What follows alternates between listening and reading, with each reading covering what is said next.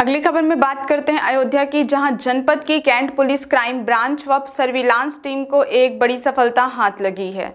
चार पहिया वाहन चोरों के अंतर जनपदीय गैंग का पर्दाफाश करते हुए छह साथी चोर गिरफ़्तार किए हैं, जिनकी गिरफ्तारी गछोरपुर रेलवे क्रॉसिंग के पास हुई है।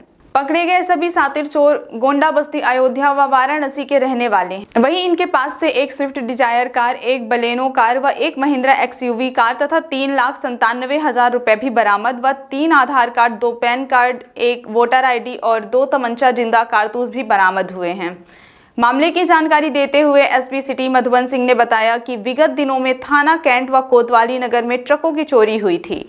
इस ट्रकों की चोरी को लेकर पुलिस अधीक्षक के द्वारा टीम गठित की हुई थी, जिसमें तीन टीमों का गठन हुआ था। छह सातिर चोरों को गिरफ़्तार कर लिया गया है। अभी इनके तीन और साथी शेष हैं। एसपी सिटी ने बताया कि इस गैंग का मुख्य मास्टरमाइंड माधव गिरी तथा अमरेश बहादुर है। पकड़े गए छह सातिर चोरों के ऊपर गंभीर धाराओं के मुकदमा दर्ज कर लिए गए हैं। थाना कैंट और कोतवाली नगर में ट्रकों की चोरी हुई थी और इस ट्रक चोरी को चैलेंज मानते हुए पुलिस अधीक्षक महोदय द्वारा टीम का गठन किया गया था।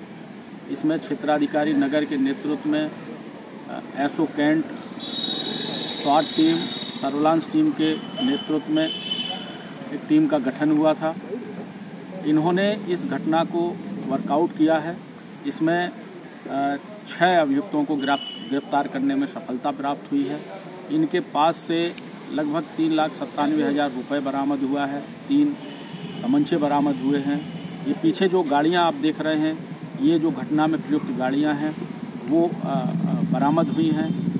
इन सबको आज गिरफ़्तार करके पुलिस कस्टडी में लेकर माननीय न्यायालय के समक्ष प्रस्तुत करके रिमांड लिया जा रहा है। कहाँ से पकड़ा? ये सब यहाँ गद्दोपुर चौराहे के पास से इनको गिरफ़्तार किया गया है आज।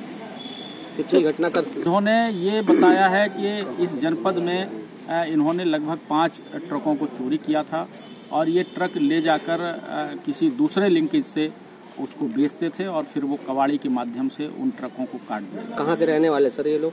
ये अलग अलग जनपदों के रहने वाले हैं। इसमें कुछ अयोध्या जनपद के रहने वाले हैं, कुछ गोंडा के रहने वाले हैं इसमें से कुछ बनारस के रहने वाले हैं।